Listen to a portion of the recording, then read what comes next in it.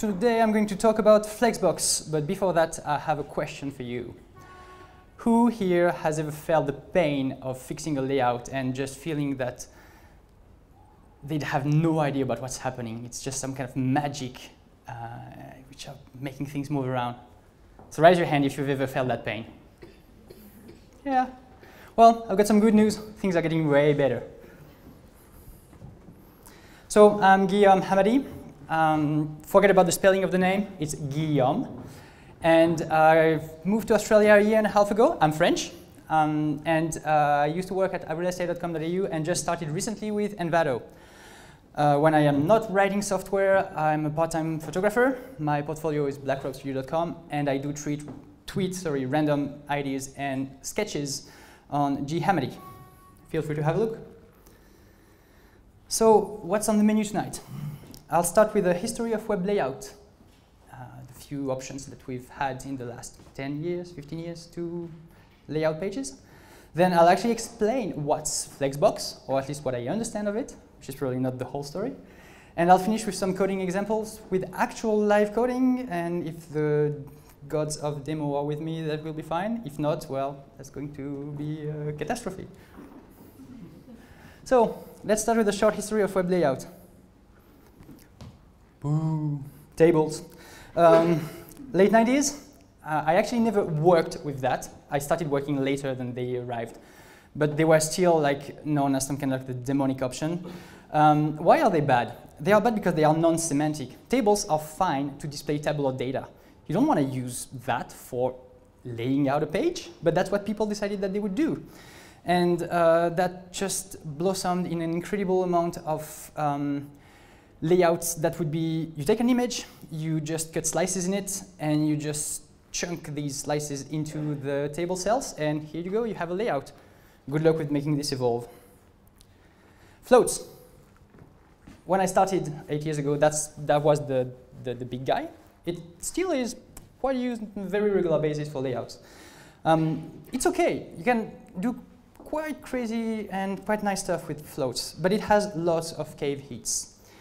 Um, for me, the biggest one is that in order to use um, CSS layout efficiently uh, with floats, you have to have a really good understanding of two big CSS concepts, which are um, the box model, how do blocks and inline elements uh, behave in the page, what are the, the rules, um, and then the other one is the notion of page flow. Uh, the basic idea is that it goes from top to bottom, but there's um, there's a few side effects that you should be aware of when you start playing with like advanced float tricks.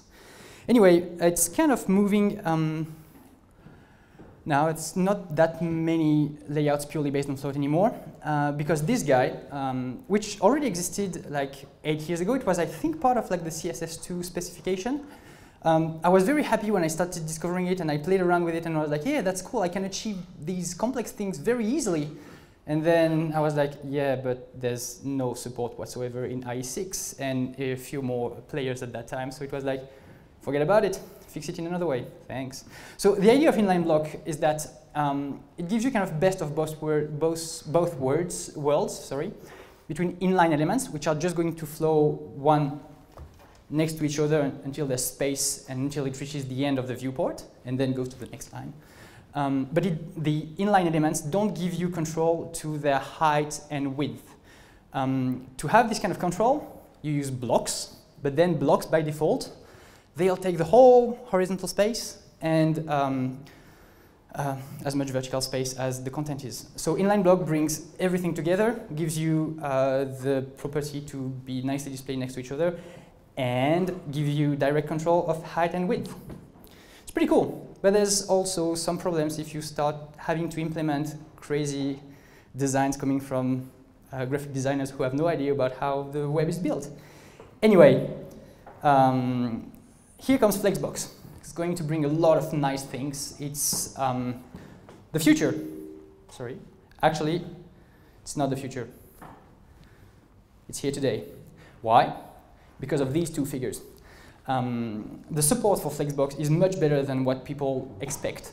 It's these stats, I haven't created them, they are from caniuse.com. If you have never heard about it, use it. Um, and so 95% worldwide of support and 97% specifically in Australia. That's, that's great. So obviously, depending on your business, these stats may change a bit, but it definitely is uh, time to have a look at Flexbox. And if there's one thing I would like you guys to remember tonight, is use it. It's ready. The browsers out there support Flexbox. It's not 100%, it's not everyone, it's not without side effects, but it is here. This is not a prototype anymore. Um, so, common questions with uh, that. Um, what about the two or three different syntaxes of Flexbox which were released during the process from the W3C? What about vendor-specific uh, prefixes? What about support for IE9? Well, you should not really ask, the, well, you should not really try to fix these things by hand. Really, what you should do is use uh, some best practices. So get yourself a build pipeline, get yourself inside the build pipeline an auto prefixer. So just to give you an idea, a build pipeline is something that runs in the background or runs when you push your code somewhere, which is going to do lots of like boring automated tasks for you. So instead of writing four Flexbox selectors um, with like each of the browser vendor prefixes, you just write the standard one, the one that's already in the W3C spec, and you let the auto prefixer do its job you define which browsers you want to support, which versions of like Safari, Firefox you want to support, and the auto prefixer knows the rules, is updated on a regular basis, and its job is to actually fix these kind of problems. Um, the only cave caveat for that is if you have to support IE um, before 10 and Safari before 7, then the auto prefixer can't do anything for you because it's not a question of which syntax was implemented. Um, it's just, it doesn't work at all. In this case, my favorite approach is to not support it at all. But if you have to support it because of business reasons, which are completely valid, by the way, um, I'd highly recommend you push, um, you come with the, uh, the, the, stats as an argument, and you explain that it's get a simpler design which is quicker to implement for these guys on these old browsers and focus on delivering value for 95 or 97% of your users It's pretty much more important, I think. Um, so by the way, supporting this, um, the Flexbox um, specification today is at the stage called by the W3C the last call working draft. So that should give us pretty much enough confidence um, that the spec is not going to change wildly before it goes to uh, not draft state anymore.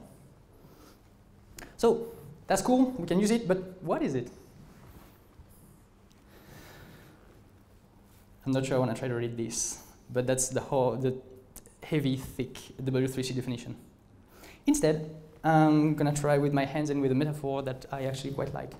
So Flexbox works with um, container and items. So just think about like a cardboard box, and you would see, you would look at the cardboard box from the, from the, from, from the front.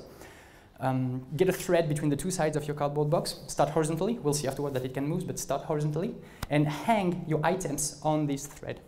So what you are going to have some control on and what Flexbox is going to also have some control is the ability to move the items along this thread. Or even, if you have lots of items, get the thread to kind of magically go one line after the other and move the elements on that. Um, another important concept is um, of the, the, ax the axis. The, um, the Flexbox has a main direction called the main axis, which is by default um, horizontal, and which is in countries which have by default left to right um, writing and uh, flow in the web is going to also be left to right. And the cross axis is the vertical one, top to bottom.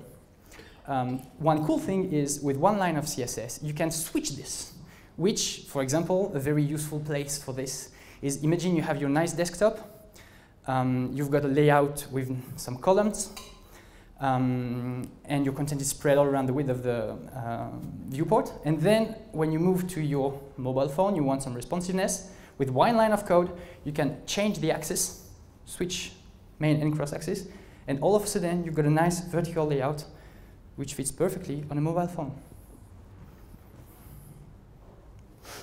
So, time to give you some examples. We'll start with the markup. So our example is this guy on the left. Uh, pretty simple. Um, it's just one container with a class of flex container, which is just a div, can be any anything really, and five other divs inside. I just added like uh, five more, but they are commented out, so they don't appear. That was just for like a previous example that I'm actually not going to run. Um, so divs by default with no uh, specific style. They take the whole width, then they pile up on top of each, on the bottom of each other. So Flexbox starts like this. Display flex. What happens?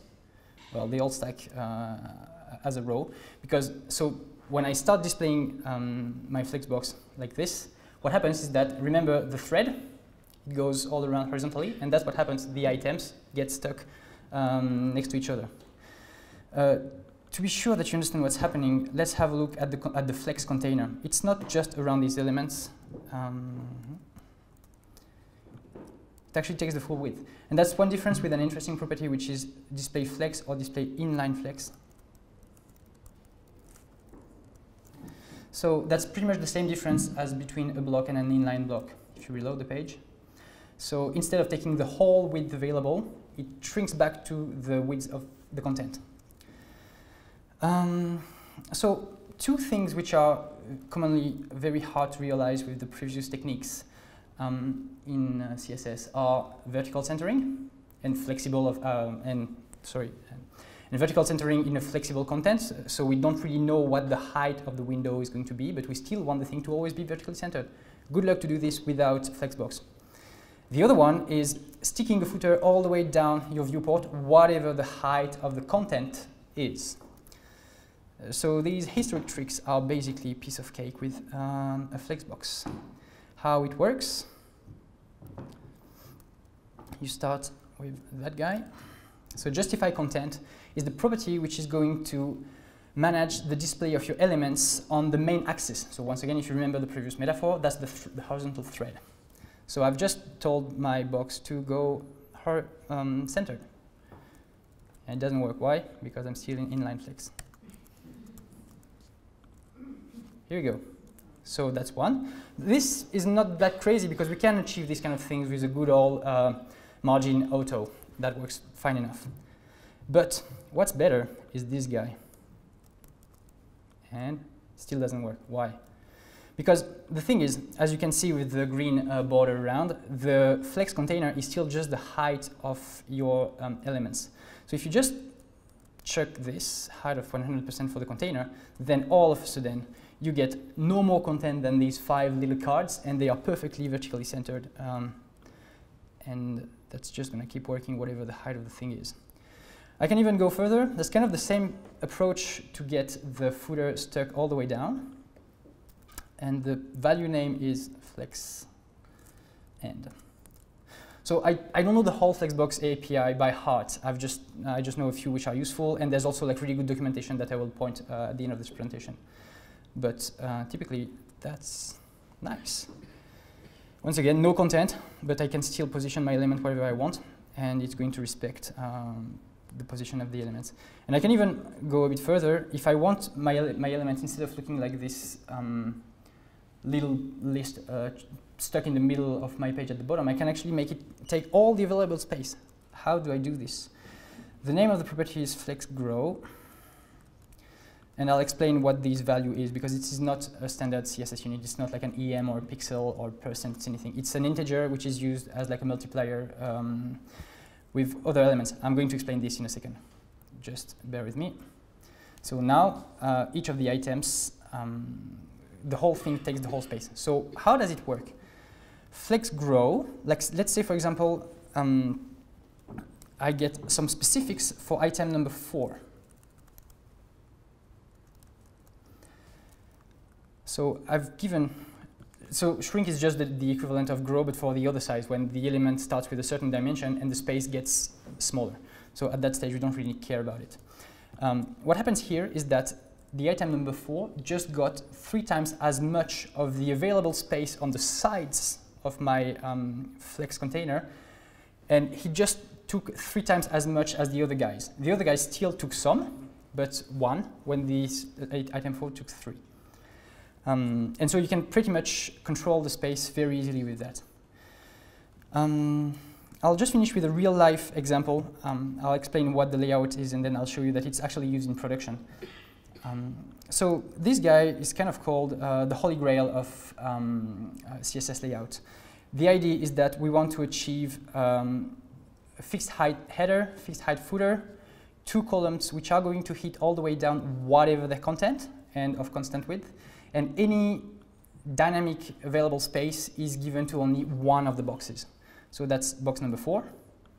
And so as you can see, nothing else moves, but the content, uh, the number four just like gets, um, uh, gets all the flexibility available. It has its own scroll. Um, it doesn't take more space on the whole vertical of the, of the layout. And so where can this be useful? Well,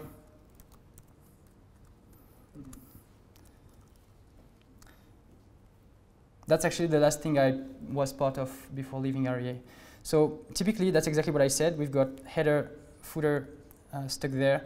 The column on the left has quite a lot of content, and it doesn't break the design. When there's actually just a few suburbs available, it doesn't break the design either. The Google map still takes all the space, and when you move things around, uh, you can still just get all the controls fine. And um, we did achieve this with Flexbox. Maybe there would have been uh, solutions without Flexbox, but this was by far the quickest option.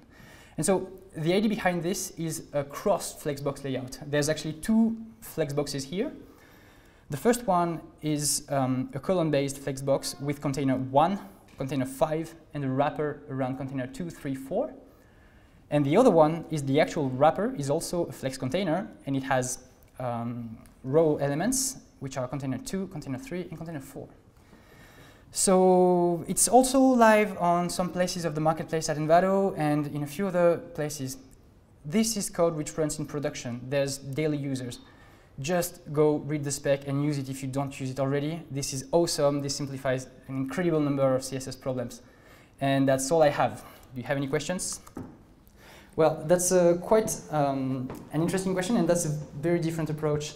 Um, the thing is that if you use Bootstrap, you're embracing the whole lot of code that's included in Bootstrap. Um, it might be the good answer. It's a quick solution to start. Um, but Bootstrap has also, I haven't used Bootstrap a lot, but that's my kind of limited understanding. It's going to, it might get into your way at some point when you start having to implement fairly complex designs with like really custom specifications. Flexbox is not really a replacement for Bootstrap. I see Flexbox more as a replacement or an addition to the all the ways to build layouts all by yourself. Um, yeah, so it's more like you use Bootstrap at the start of a project because that's the best way to focus on your product, on giving customers value without having to have a, too much of a hard time to get a front end which looks like something. But as your product evolves, you may end up having to fight against the framework. If that happens, you may want to move to a full custom uh, layout solution. And in this case, Flexbox is just one more toolbox that, um, that uh, inline blocks and floats are. Um, and that's when you would start using it. So just as a comment, um, the latest version of Bootstrap can support Flexbox.